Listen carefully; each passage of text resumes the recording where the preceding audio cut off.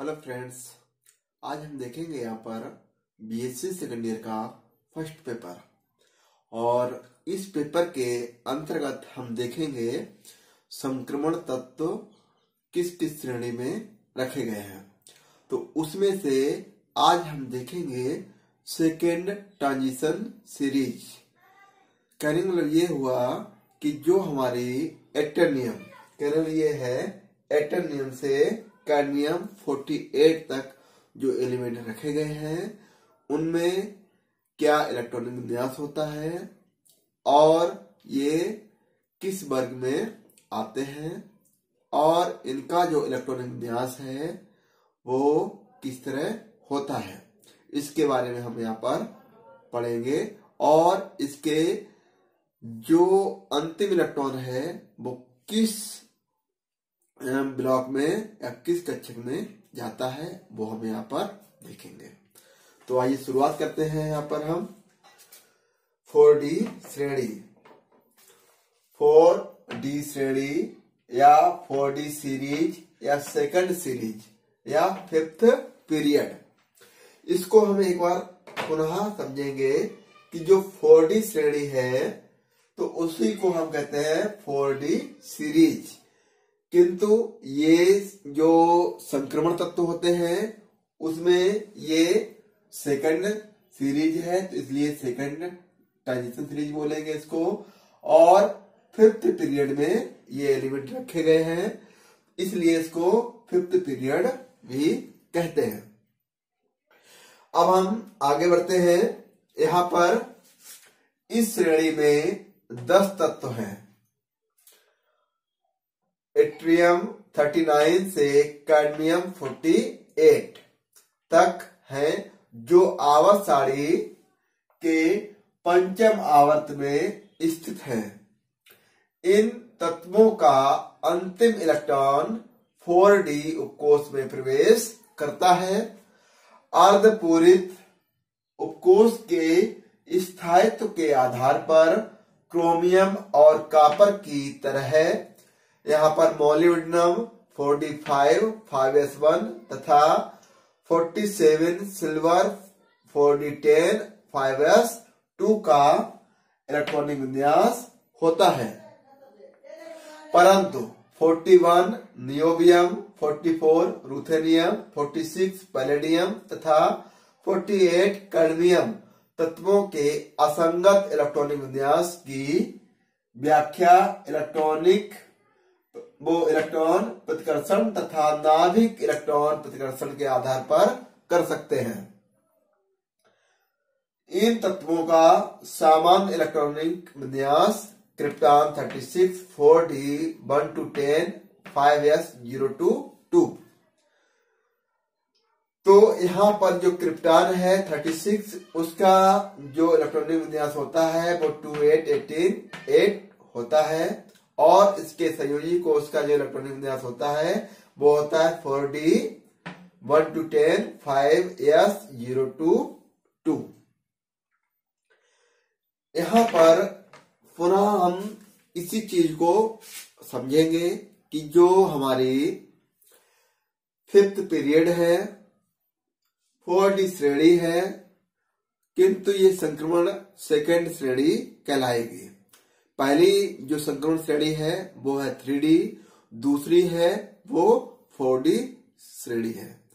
और दूसरी श्रेणी की ही हम बात कर रहे हैं तो यहाँ पर जो संक्रमण तत्व होते हैं, इस श्रेणी के अंतर्गत उसमें 10 तत्व आते हैं। इट्रियम 39 से कैडमियम 48 तक। इनमें कुछ तत्व तो ऐसे हैं जैसे कि थ्री श्रेणी में थे जैसे कि क्रोमियम और कापर जो कि बाउ के अपवाद थे। ठीक इसी तरह यहाँ पर भी दो एलिमेंट ऐसे हैं एक मोलिब्डेनम 42 और सिल्वर 47 जो कि उसी टाइप के मतलब कि अपवाद हैं। किंतु इसी वर्ग में या इसी आव, सॉरी आवत में नियोबियम, रूथेनियम पैलेडियम और कार्डमियम ऐसे एलिमेंट हैं जो आप नियम के अकॉर्डिंग नहीं, मगर असंगत व्यवहार प्रदर्शित करते हैं। कैसे? इनका जो इलेक्ट्रॉनिक विन्यास होगा, वो आप बाउ नियम के अकॉर्डिंग ना भरकर वो किसी दूसरे तरीके से भरता है। तो उसको अभी हम इलेक्ट्रॉनिक विन्यास यहाँ पर समझाएँगे तो बताएँगे।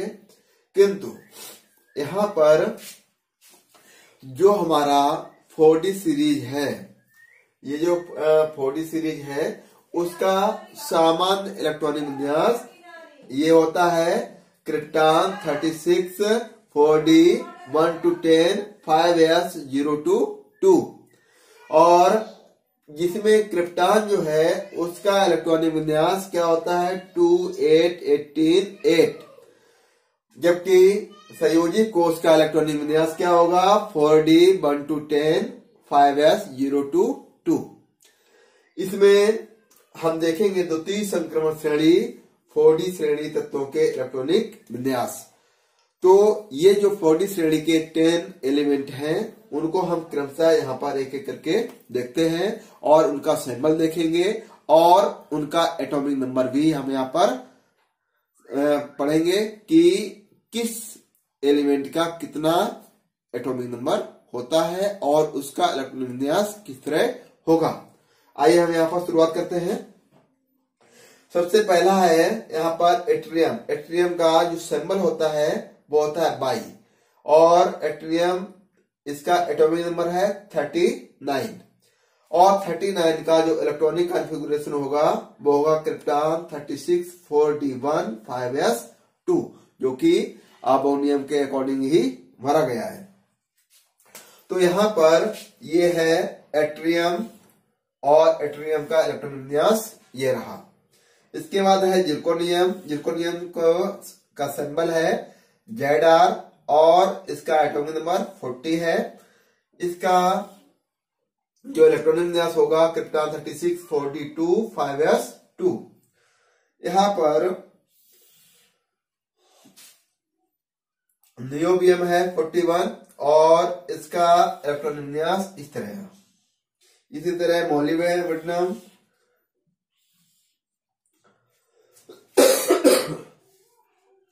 यहाँ पर हम देखेंगे जो मोलिबेडिनम है, इसका एटॉमिक नंबर 42 है और इसका इलेक्ट्रॉनिक कॉन्फ़िगरेशन होगा। कितना 36 45 5s 1 तो यहाँ पर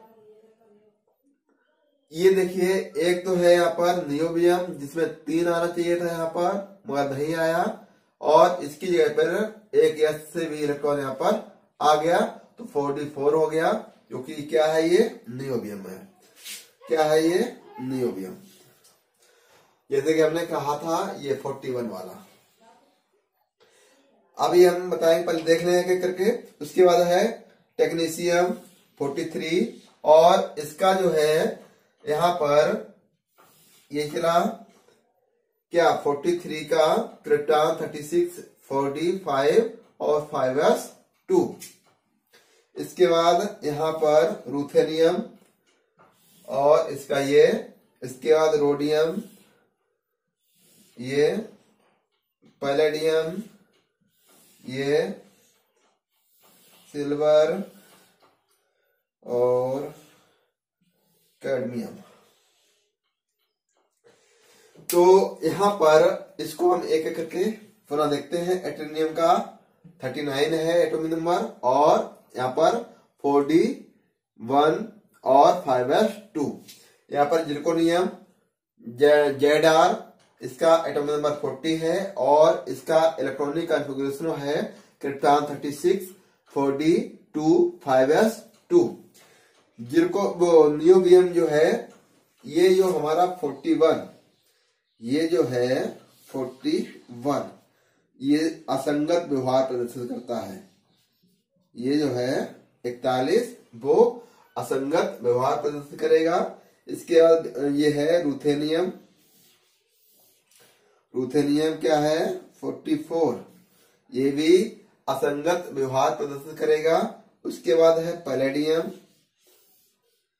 ये पैलेडियम कितना है? 46 तो ये भी असंगत व्यवहार प्रदर्शित करेगा। और इसके बाद है कैडमियम। ये भी असंगत व्यवहार प्रदर्शित करेगा। तो यहाँ पर देखिए 42 की और 5s2 है तो यहाँ पर 43 आना चाहिए, मगर यहाँ थ्री ना आकर एक इलेक्ट्रॉन जो है 5s से भी यहाँ आ जाता है तो यहाँ पर 44 और 5s वन हो जाएगा।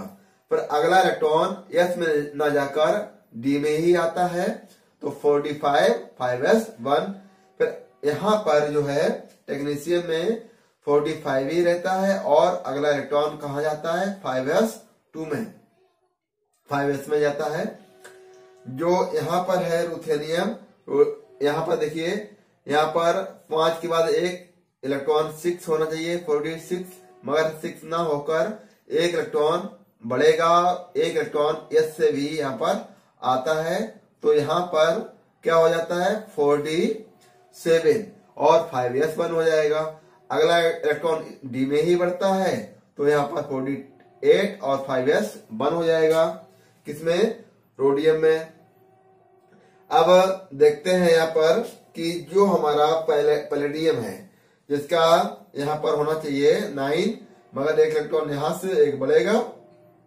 तो यहाँ पर इलेक्ट्रॉन इससे भी यहाँ पर आ जाएगा। तो ये हो जाता है फोर्टी टेन और फाइव एस ज़ीरो। अगला इलेक्ट्रॉन जो होगा, forty ten, five S one में जाएगा और अगला इलेक्ट्रॉन अगर बढ़ेगा, जो कैडमियम वाला, वो भी फाइव एस टू में जाएगा।